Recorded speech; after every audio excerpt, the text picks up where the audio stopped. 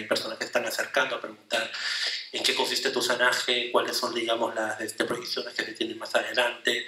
Eh, justamente el motivo de esta, esta, presentación es, digamos, exponer cuáles han sido los campos en los cuales este proyecto se ha ido eh, poco a poco, ha ido poco a poco creciendo, poco, ido poco a poco difundiéndose, ¿no?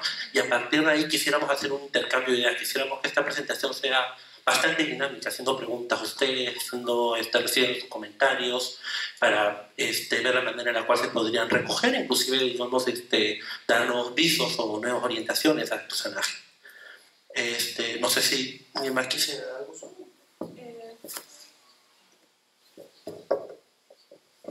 Bueno, buenos días.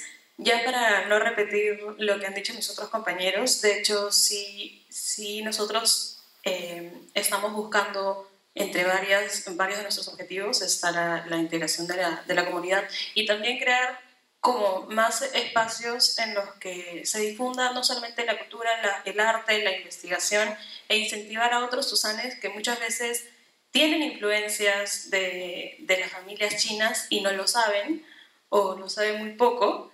Eh, y como incentivar esto y despertar esto e, en ellos y no solamente quedarnos como, como dijo el Señor, ¿no? no solamente quedarnos en, en, palabras de investigaciones, que de por sí ya es muy importante, sino pasar también a, a acciones. Y tanto jóvenes como adultos podemos encontrar esto y, y, y, lograrlo. ¿no? Ya tenemos, China ya tiene mucha influencia en Perú, ya tenemos 170 años casi acá, y, y es momento, y ya, ya era momento, ¿no? Entonces, eso, eso quería llegar. Sí, y definitivamente eh, eh, tenemos un, una enorme cantidad de investigadores de ciencias sociales y otras disciplinas que a lo largo de muchas décadas han investigado distintos aspectos de la presencia china en el Perú. Y algo que sucede en la sociedad peruana en general es que este conocimiento muchas veces se queda en la academia, ¿no? Y no va hacia las demás personas. Y nosotros creemos que los tusanes tienen que estar informados de su cultura, por ejemplo, eh, me animaría a preguntarles a todos los aquí presentes quién podría decir el nombre de tres escritores tusanes. ¿Quién sabe el nombre de unos tres escritores tusanes? ¿Alguno? No sé si alguien sepa por ahí. Julio Wong. Muy bien, muy bien, Dani. Bien, ¿sí? Efectivamente, justamente ese silencio es parte de, la, de las cosas que nos motivaron a, a, pensar en este proyecto, porque tenemos espacios entre las instituciones de nuestra comunidad, tenemos espacios empresariales, tenemos espacios que reúnen a las personas con fines sociales, reúnen a personas de distintas edades, pero falta contribuir con más espacios para la cultura, pero para la cultura viva, para pensarnos, que es muy importante como comunidad. Por eso, siguiente, por favor. Por eso es que pensarnos nos lleva sin duda a una pregunta principal. ¿Qué es ser Tuzán? Les pregunto a ustedes, ¿qué es ser Tuzán? Pero por favor, no nos digan el significado semántico, porque ya todos sabemos, ¿no? Tuzán es nacido en esta tierra y ya así denominan a los descendientes de chinos. Perfecto, todos creo que sabemos aquí eso. Ciertamente no toda la comunidad peruano-china lo sabe. Yo conozco gente en provincias que no, no, no, está familiarizada con el término, lamentablemente. Eso quiere decir que tenemos mucho por hacer. Eh, pero, ¿qué es ser Tuzán? Por ejemplo, ¿qué tiene ese Tuzán? Para poner la pregunta de otra manera, ¿qué diferencia el Tuzán de, lo, de otro peruano? Ciertamente el Tuzán es un tipo de peruano, pero ¿qué lo hace diferente a otros peruanos?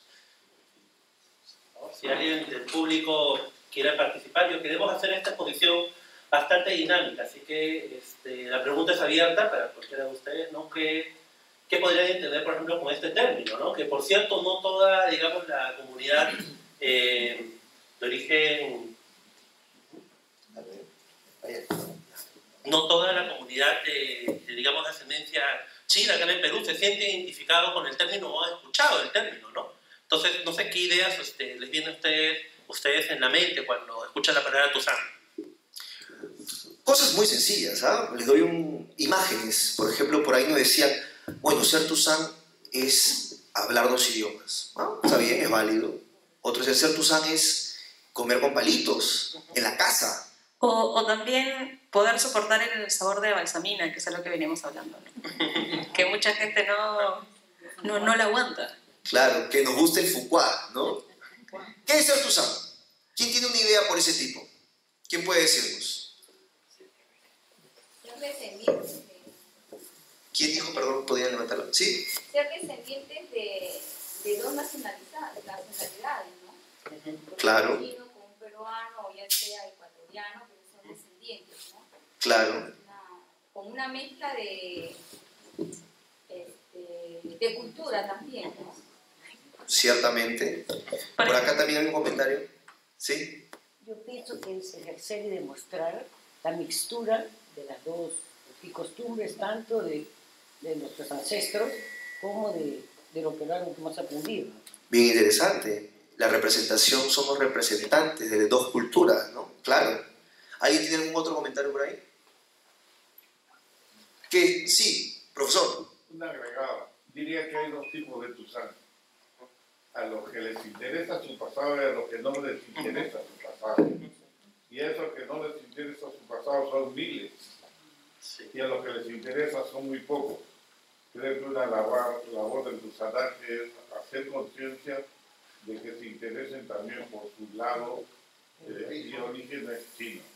Sin duda, sin duda. Aprovecho la ocasión, tuvimos un, un, un inicio eh, más coloquial, pero quiero aprovechar la ocasión para decirles, por si no estaba claro, que nosotros tres no somos Tusanaje, somos miembros de Tusanaje que en esta ocasión estamos representando a toda la colectividad de Tusanaje, pero contamos con la presencia eh, de otras personas más, por ejemplo, Estefanía Q, que está grabando por allá, y nos honra con su presencia el profesor Humberto Rodríguez Pastor, que es uno de los historiadores fundamentales eh, en la historia nuestra. Sin los estudios que él ha realizado durante décadas, sería absolutamente improbable que podamos tener una perspectiva de quiénes somos y de dónde venimos. Nos honra con su presencia, nos honra con su enorme generosidad para desde el principio del proyecto, cuando el proyecto estaba en nada, este, no dudó en colaborar con nosotros y nosotros justamente, ya lo diremos, parte de nuestro trabajo es difundir la obra de intelectuales como él. Gracias por todo eso, gracias por estar aquí. Eh, y tenemos también la presencia de Carlos Chung, que, es, que está por allá, que es otra persona que con mucha humildad aceptó pertenecer al proyecto desde el inicio.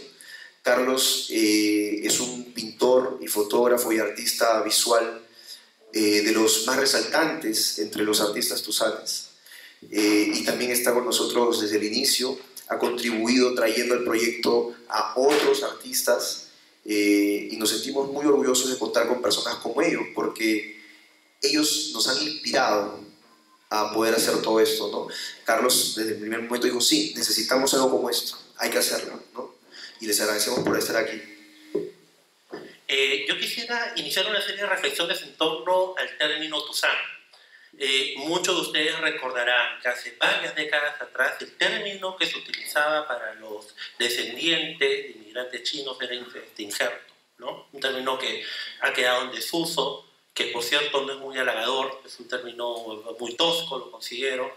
Eh, este término, es muy interesante, la, quisiera iniciar esta discusión eh, partiendo de la reflexión del profesor Rodríguez Pastor, en el sentido de quiénes podrían, digamos, asumir o identificarse con este término Tuzán, porque no necesariamente un descendiente de chino tiene arraigo cultural.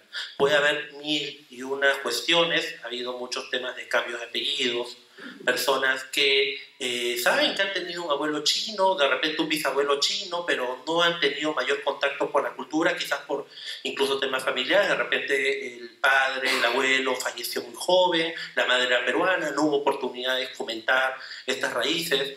Eh, bueno, se calcula que un aproximado del 10% de la población peruana tiene una raíz china. Estamos diciendo que puede tener un abuelo, un bisabuelo, pero no necesariamente se sienten ellos reflejados en la, digamos, en la cultura, ¿no? Y cabría la, también la posibilidad de qué pasaría si hay un descendiente de primera generación de dos padres este, chinos, pero de repente a sí mismo no se ve como, digamos, como, no asume en sí mismo su cultura, sino que está más este, vinculado de repente a otras tradiciones culturales, ¿no? Puedo citar algunos casos. Yo me acuerdo de un caso de una señorita de ascendencia, de ascendencia china, pero en realidad para ella no ha predominado eso, ha predominado más la identidad arequipeña. Ella es arequipeña y se siente arequipeña, ¿no? Entonces, digamos, los chinos lo ven como algo distante, algo lejano, ¿no?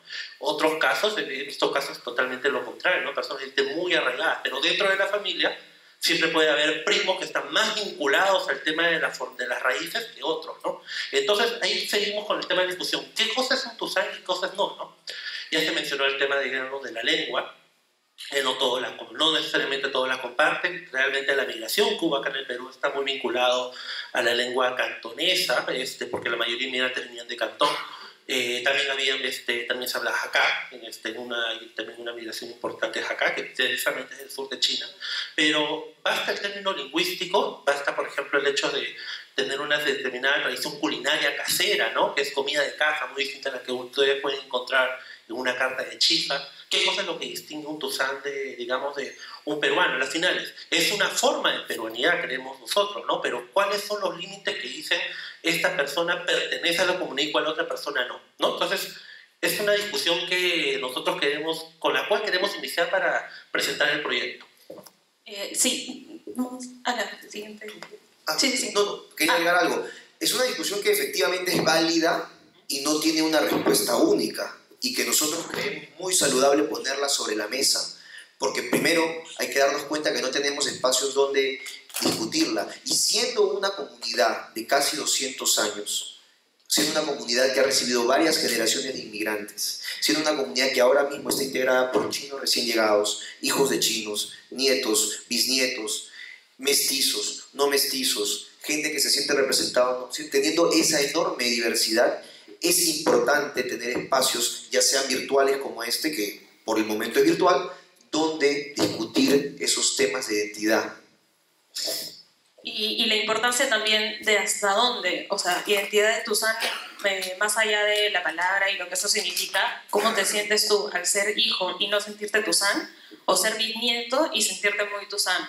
¿no? Va más allá de, de- Una vez hablaba con un amigo y me decía esto va más allá de los ojos jalados, sino el, sentimiento que se tiene con, con todo lo que tú eh, vives cuando, cuando creces con una familia que tiene costumbres distintas a, a que cuando cruzas la puerta y todo es occidental, pero en tu casa las cosas son rojas con doradas, o eh, tú tienes una cum y una, uno tienes un abuelo y una abuela, eh, cosas tan pequeñas como esas, o como que tus padres saben chino y, y tú no les entiendas, ¿no? Por ejemplo. Eh, quisiera agregar algo de que el uso es el amo del lenguaje. Es una frase que repiten mucho los lingüistas.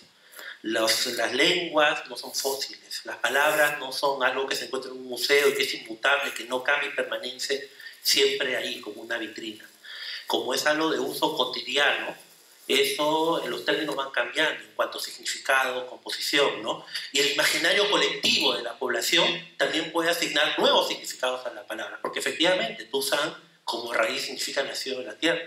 Entonces, en un sentido más restringido, que es como nace el término, está muy vinculado a lo que son la primera generación de descendientes de chinos acá en el Perú, que en muchos casos no eran, incluso hay, claro, familias mestizas, ¿no? Familia, la mayoría de inmigración siempre ha sido masculina predominantemente. Cada vez a medida que han pasado las décadas ha habido mayor presencia de inmigrantes mujeres.